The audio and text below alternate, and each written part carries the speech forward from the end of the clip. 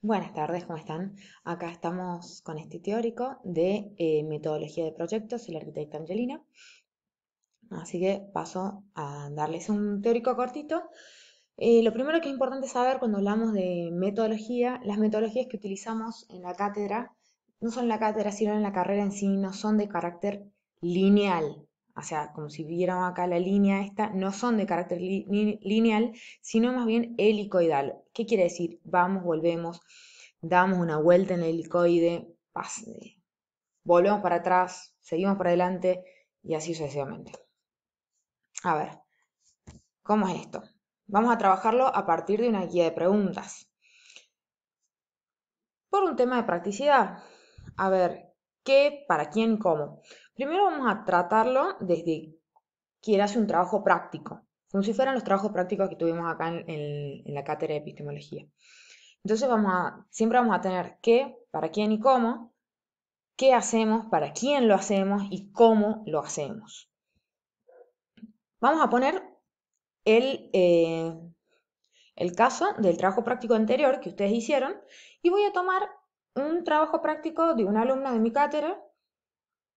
Lo hizo muy bien, digamos, pero es independiente, no es que sea el mejor trabajo de toda, de toda la, eh, cátedra, eh, pero vamos a, dar este caso. ¿Cómo, sería este, el trabajo práctico? El qué es el planteo de la analogía que se, que se buscó eh, con este trabajo práctico. Entonces, ella, en este qué, dice, la casa es igual a un espejo. Una por ahí dice, ¿qué, qué está diciendo esta chica? Ella dice, la casa es igual a un espejo.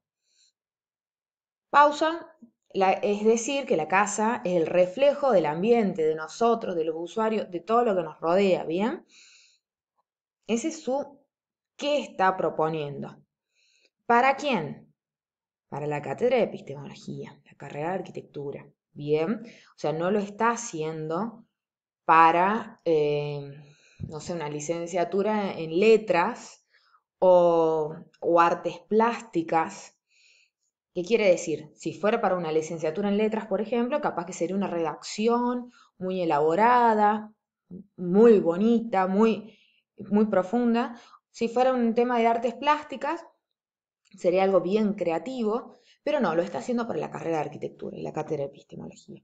Entonces, ¿cómo hace Luciana para hacer, eh, demostrar, digamos, en, epistemología, esta analogía que plantea que la casa es un espejo? Con una maqueta. ella se ingenió, dijo, con una maqueta, voy a mostrar a partir de una, caja donde hago una casa espejo. Muestro este este reflejo de quienes la habitan, cómo la habitan, dónde se inserta, el reflejo de todo lo que le rodea la casa, de, las personas que la habitan. Acá está una manifestación de un qué interesante, una conceptualización muy profunda y un cómo muy bien logrado. Entonces ella cumple el objetivo. Es una forma de mostrarles cómo con esta serie de preguntas ustedes pueden desarrollar un buen trabajo. O sea, cada vez que ustedes tienen que plantearse un trabajo, tienen que decir, ¿qué estoy haciendo? ¿Para quién lo estoy haciendo? ¿Y cómo lo voy a hacer? Pero el cómo tiene que ser muy eficiente. Porque, ¿qué pasa? Si yo tengo un concepto tan bueno como el que planteó Luciana y lo manifiesto a medias, el trabajo queda a medias. Entonces, porque no, no lograste expresar en todo su esplendor esa gran idea que tuviste. Capaz que tu idea es básica, pero lo, lo, lo expresas con un cómo tremendo. La forma de manifestarlo es excelente. Ahí te lucís. O sea, es muy importante cómo vamos a mostrar nuestras ideas, nuestros trabajos. Bien, bueno, esto por un lado, dentro de lo que vendría a ser un trabajo práctico. Ahora yo les pregunto, ¿qué pasa en una situación de proyecto arquitectónico? Ya que lo llevo al al teórico de morfología donde hablamos de la morfogénesis del proyecto. Entonces, en esta situación vamos a plantearnos las mismas incógnitas, ¿Qué, para quién, dónde y cómo. ¿Bien? Agregamos esta preguntita. Entonces, eh, volvemos a lo mismo. Y yo acá les voy a decir, porque, porque pasa seguido, cuando nosotros planteamos estas preguntas, van a, van a aparecer la simplicidad de las respuestas. Y nosotros queremos que ustedes lleguen a la complejidad de las respuestas. ¿Qué quiere decir? Que si yo te digo qué, no me contestes una vivienda unifamiliar. Te digo para quién, no es una familia tipo. No es dónde, en el barrio de acá. ¿Cómo? Eh, construcción tradicional. Eso es una forma, digamos, si yo planteo este esquema de preguntas y respondo de este modo, es una forma simplista de ver este trabajo. Nosotros queremos que lleguen a la complejidad del asunto, o sea, veo el todo y la parte, voy y vengo. ¿Bien? ¿Qué quiere decir? Que cuando yo te digo qué, cuando yo estoy planteando qué vamos a hacer, no solo, por, pongamos el ejemplo, una vivienda unifamiliar. Pero no, no es solo eso. Es la tarea que voy a realizar. Estoy por proyectar, estoy por rehabilitar, estoy por refuncionalizar construir de cero. ¿Qué es lo que estoy por hacer? ¿Bien? La función del espacio que voy a intervenir, o sea, estoy hablando de un espacio que, que tendrá función residencial, que tendrá función comercial, recreativa, funciones integradas, capaz que es un poco residencial, un poco comercial. ¿Qué sería esa función que quiero incorporar en este espacio? Acá también tengo que hacer un diagnóstico de la situación, identificar estos conflictos y las, potencialidades. Conflictos son, van a ser estos aspectos negativos, digamos. Pero por otro lado vamos a tener las potencialidades. ¿Qué quiere decir potencialidades? Capaz que son negativos, pero ¿qué quiere decir? Que fácilmente pueden ser muy positivos y me pueden dar un salto grande. Entonces yo puedo tener esas dos partes. Por ejemplo, vamos a ver, los ambientes, los ambientes de la casa no ventilan, pero tengo un patio grande y puedo abrir una gran ventana, tengo la posibilidad. Entonces, no solo es cuestión de ver los defectos, sino también ver cómo sus defectos pueden convertirse en grandes ventajas. Bien, siguiente tema. La, el entendimiento o es, agarrar la idea o tema generador. ¿Qué quiere decir esto? Va a ser la metáfora, analogía, abstracción que me permite responder a este diagnóstico, a esta función, a estas tareas, responder a este, a este proyecto de un modo integral. ¿Bien? Vamos a ver esto un poquito después. Eh, ¿Qué va a aparecer también en este qué? El programa, digamos, de necesidades. No me gusta utilizar la palabra programa porque no considero que las necesidades se programen.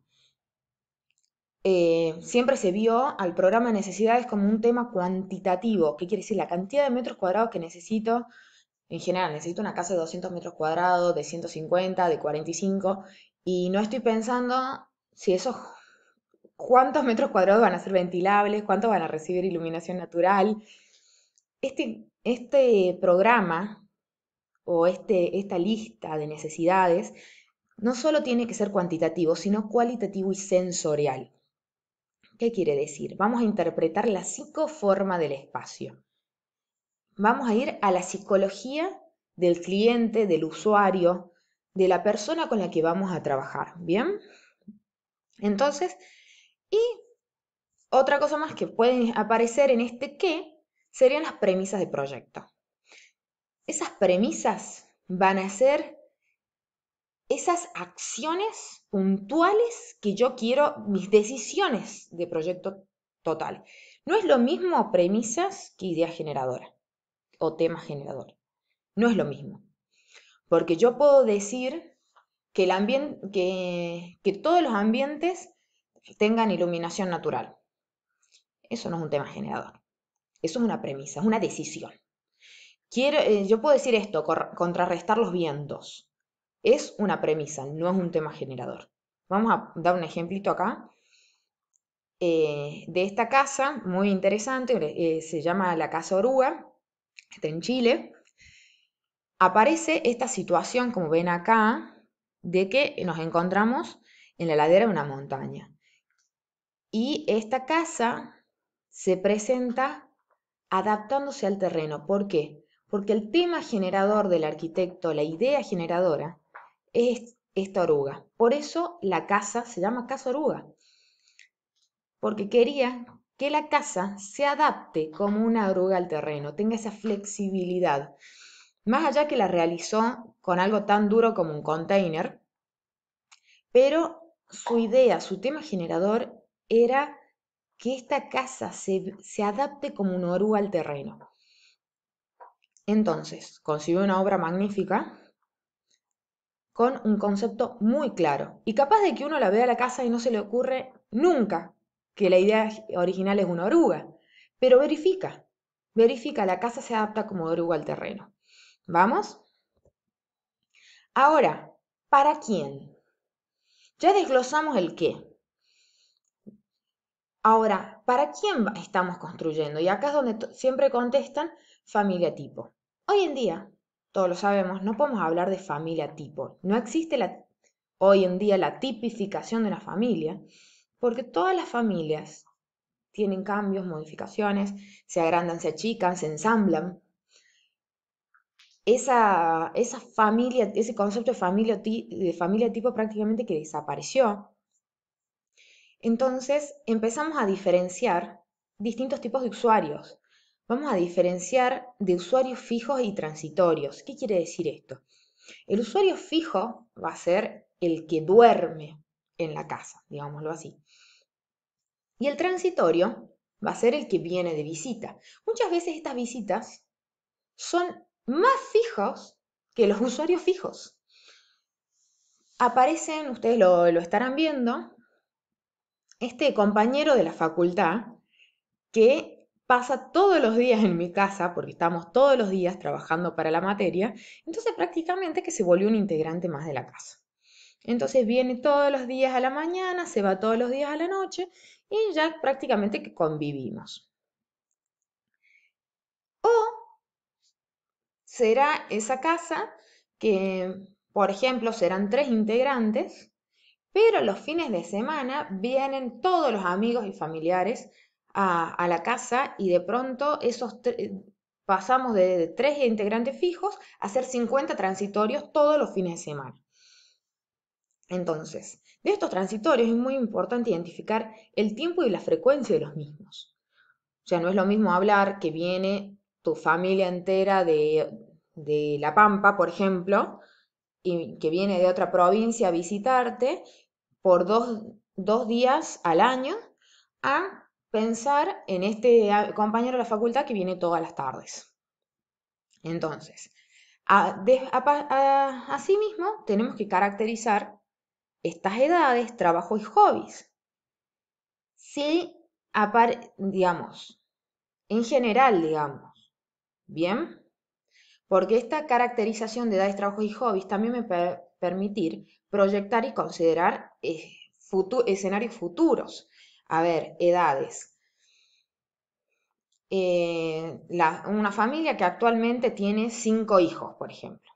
Pero los cinco hijos Cuatro ya están arriba de los 23 años y uno eh, está recién terminando el secundario. Entonces podemos considerar de que esos hijos mayores se vayan de la casa, se casen, tengan hijos, uno decida irse a otra provincia. Sería muy raro que capaz que todos sigan ahí, o no, o capaz que sí, todos sigan ahí.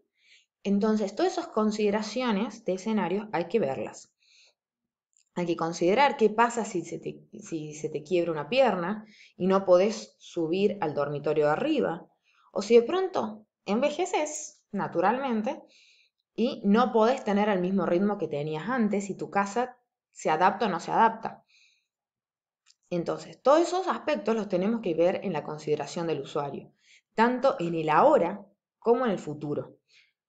Los arquitectos sí o sí tenemos que estar también en el mañana, no solo podemos quedarnos con el hoy, cómo es la realidad de hoy, tenemos que estar todo el tiempo proyectando cómo va a ser la realidad del mañana. ¿Me entienden? Vamos a hacer una pausa para pasar al siguiente video.